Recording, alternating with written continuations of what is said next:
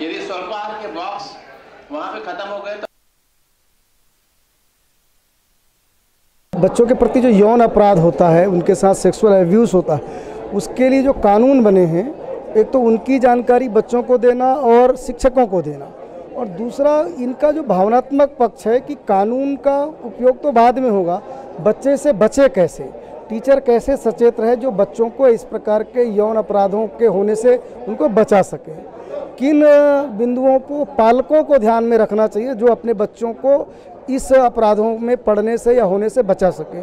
तो इस कार्यशाला का प्रमुख उद्देश्य जो बच्चों का भावनात्मक पक्ष है कि वो फैमिली से अटैच रहें, वो चीज़ों को समझें, ताकि उनके साथ क्या सही हो रहा है, क्या गलत हो रहा है, वो उसके हिसाब से समझ के अपने पालकों को बांट सकें। समझ सकें कि पालकों का उनके जीवन में तो ये जो विभिन्न प्रकार की समस्याएँ बच्चों के जीवन में हैं, उसका मनोवैज्ञानिक कारण क्या है? उसका भावनात्मक पक्ष क्या है?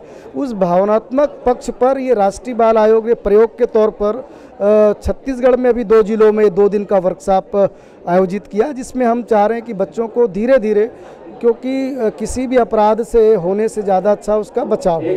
तो यही है उसके लिए। For more information, log on to www.clips.in.